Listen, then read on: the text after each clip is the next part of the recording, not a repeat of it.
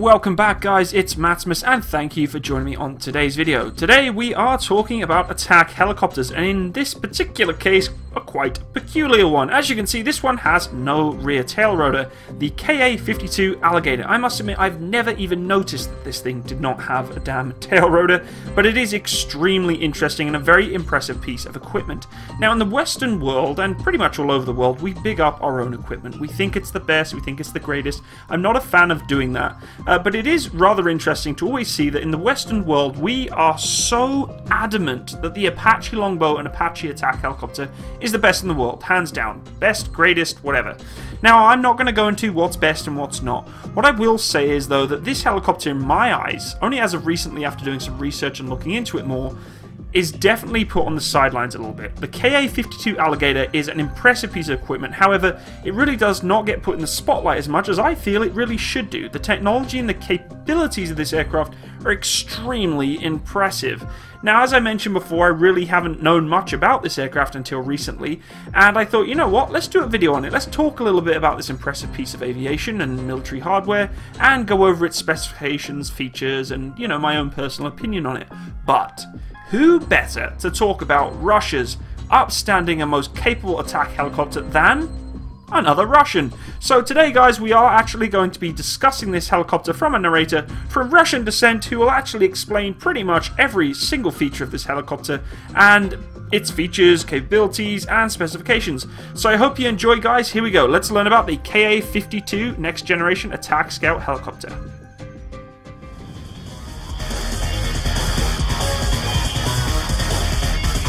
Rosoboronexport and Russian helicopters are presenting the Ka-52, a new generation scout attack helicopter. The Ka-52 day-night all-weather scout attack helicopter is designed to destroy enemy tanks,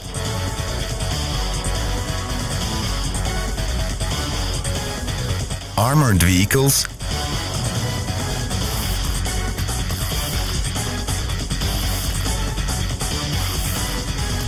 and soft-skin military equipment, manpower and helicopters at the forward edge of the battle area and in the tactical depth as well as to provide target reconnaissance, target assignment and target designation for cooperating helicopters and army command posts.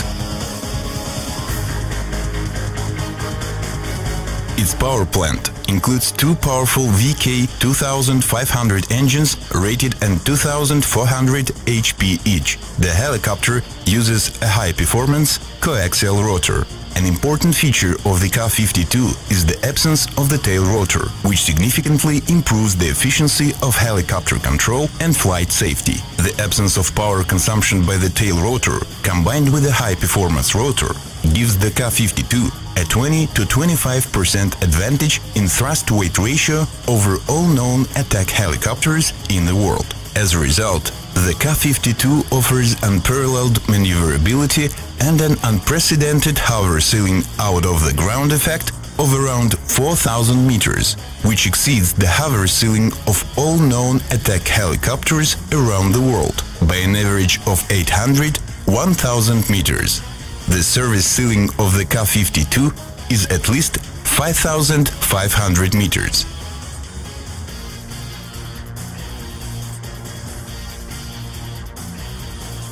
Stores are mounted on six hard points, increased maximum weapon load and longer maximum flight range with maximum weapon load are the competitive advantages of the Ka-52 over other attack helicopters.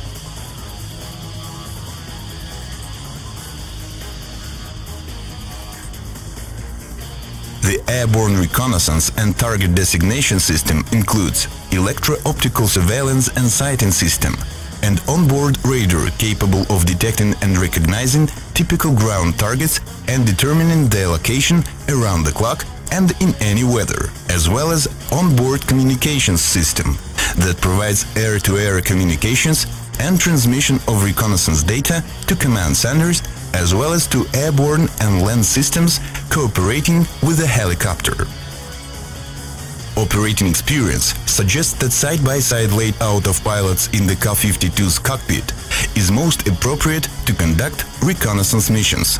The shared use of information coming from radar, electro-optical systems and navigation aids by the two pilots simultaneously reduces the search time and improves target recognition reliability. When an emergency landing of the helicopter is impossible, a crew ejection system is a reliable means to save lives of the pilots. Both crew members are ejected simultaneously. In this case, helicopter rotor blades and cockpit canopies are first jettisoned automatically and then rocket ejection units are activated. Ejection is provided throughout the entire flight altitude range of the helicopter, including at the zero altitude. When the helicopter conducts regular flights in isolation from its main base, it requires no test equipment, ground support or special aircraft equipment for its maintenance. In case of self-contained basing for two weeks, maintenance can be done by the helicopter crew. The Ka-52 accommodates a built-in performance monitoring system, an independent power supply source, the TA-14 power unit, and mechanical systems for weapons suspension built in the helicopter wing. The Ka-52 is designed for operation in desert, tropics, mountain conditions and at sea in the range of ambient air temperature from 50 degrees Celsius minus to 50 degrees Celsius plus and at relative humidity of 95-98%. An important feature distinguishing the Ka-52 from other attack helicopters is its out-of-hangar operation. It has outdoor storage and service, without any shelters using only covers and standard blanks. Its avionics suite has been developed using the most advanced digital data processing and data exchange technologies and combines high-precision inertial satellite and radio navigation systems, digital helicopter navigation automation system, a set of reconnaissance aids, including target search and track electro-optical and radar systems, as well as an onboard communications and data transfer system, weapons management system and helicopter self-defense suite. The open systems architecture of the avionics suite makes it possible to include some systems into it, both as an option and instead of existing ones. The avionics suite gives the helicopter the round-the-clock combat capability. Pilots fly the helicopter at night wearing night vision goggles, using an infrared illuminator, thermal imaging and radar terrain mapping on the basis of data surveillance system and digital terrain maps. The crew carries out search, target acquisition and aimed firing at night using an onboard radar, a day-night surveillance and sighting system, as well as external designation data. The GOES 451 day-night electro-optical surveillance and silence system includes TV search and sighting channel, thermal search and sighting channel, laser targeting channels for Vikhr and Ataka-type guided missiles, laser rangefinder, target illuminator. The main modes of the Ka-52 surveillance and fire control radar are low-altitude flight mode, to detect obstacles in the flight direction around the clock and in any weather in order to avoid or fly around them during a low-altitude flight. Mapping mode mapping of the terrain, finding the position of the ground targets and navigation points to ensure helicopter navigation in a real tactical environment, as well as Meteo mode to determine the moisture target boundaries. Airborne communications and data transfer system. It provides telephone and radio communications and data exchange with cooperating airplanes, helicopters and ground control posts. Data transfer equipment transmits navigation data, target data and other tactical situation data generated by the helicopter's onboard reconnaissance set in digital format from the helicopter to ground and air subscribers. The Breeze broadband radio channel transmits tactical video from the helicopter to ground subscribers. The helicopter's electro-optical countermeasure system is designed to protect it from engagement by surface-to-air missile SAM systems, including manpads and anti-aircraft artillery systems by detecting the threats and using countermeasures against attacking weapons. The helicopter is equipped with powerful modern weapons, movable 30mm 2A41 cannon, 460 rounds,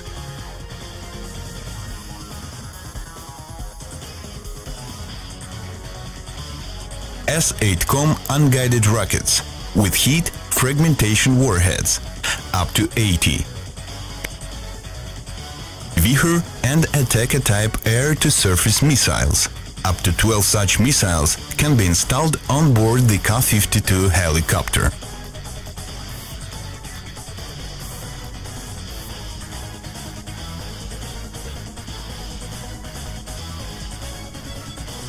Igla-S air-to-air guided missiles, up to 4.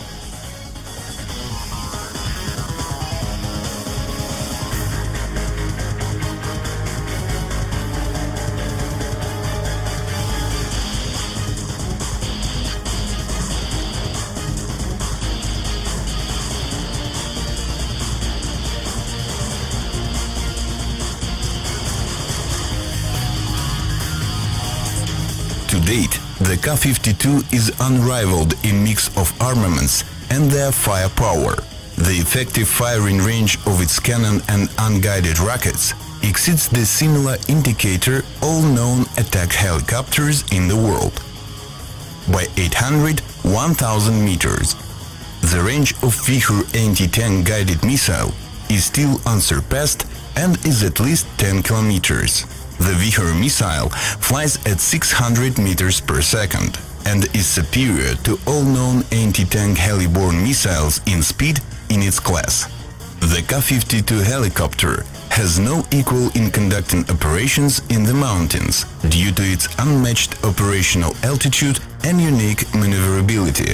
Its high thrust-to-weight ratio provides effectiveness in hot climates. The uniqueness of the helicopter is also in its versatility in performing both reconnaissance and strike missions.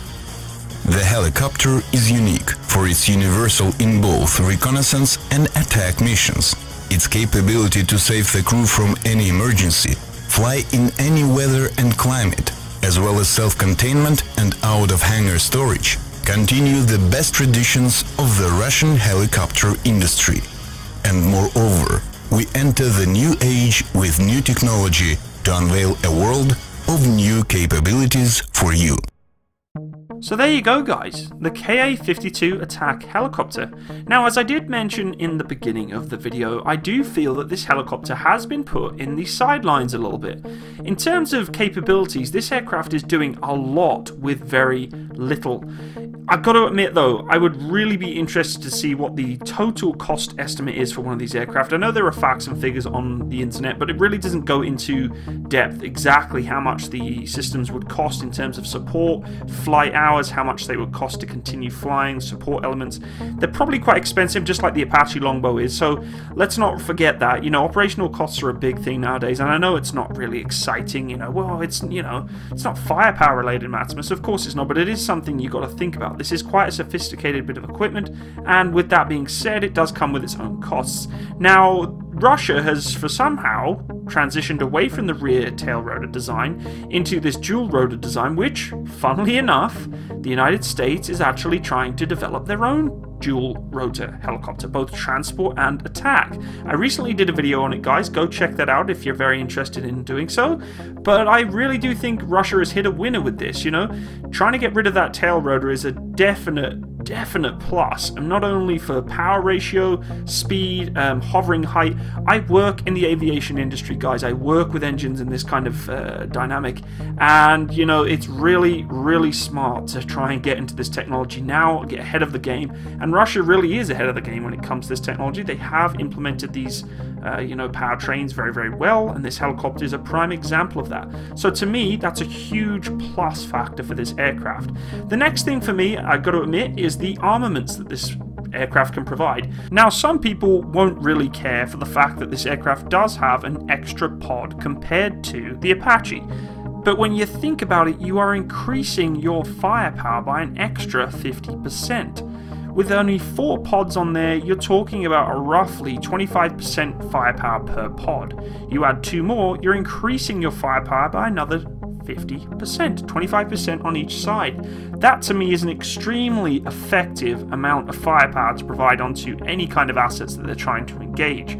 Whether it be anti-tank missiles, you know, air-to-air missiles, or just anti-infantry or, you know, anti-material missiles, that's a lot of firepower to bring onto the enemy at any one time. Resupply of this aircraft is going to be a lot less, so therefore it doesn't need to fly in return for more armaments, and can stay on station to provide support to ground troops a lot longer. Being that I was actually supported by an attack helicopter in Afghanistan, the Apache Longbow, a beautiful aircraft, that was one of the biggest things that you always were nervous on when came into contact. How long are those Apaches going to hold out with their armaments for and provide support with us before they have to disappear and go and reload? This helicopter has reduced that ability even by a fraction, and that's really important to ground troops being able to have an attack helicopter that can stay on flight with that ammunition on station, on call, to provide support. An extra couple of pods to me is a huge, huge plus. I gotta admit, I was a little skeptical when I looked at the gun for this aircraft. Obviously, it does not have the, you know, independent gun that uh, other aircraft like the Apache helicopter does, but still, I'm sure they have upgrades and components that are allowing for that to happen in the near future. Maybe there's already systems like that out there, I don't know. Also, the fact that the pilots can actually eject out of this aircraft is extremely impressive. I don't know if any of you remember the GoldenEye movie with the Eurocopter where he's stuck in the cockpit and he's trying to get out and smashing his head off the eject button. Always remember that. And, you know, having the ability to pull your pilots out of this aircraft if it is hit as an attack helicopter role, especially from ground fire, which is always going to be quite, you know, apparent in an attack role helicopter. That's really, really important. These guys are trained for quite some time. I'm sure they have very high skill sets, and being able to provide safety for your guys flying these things after they've been hit is important. You know, you're investing not only in a piece of equipment, but the pilots that fly them. They're very skilled. Some obviously maybe even veterans uh, flying attack helicopters. You don't want to lose that as just as much of an asset than it is, you know, two, three million, whatever it may be, dollars or whatever in currency that these helicopters cost. So Pilot safety is definitely something they've really taken into consideration with the aircraft, unlike some other platforms out there in the NATO world.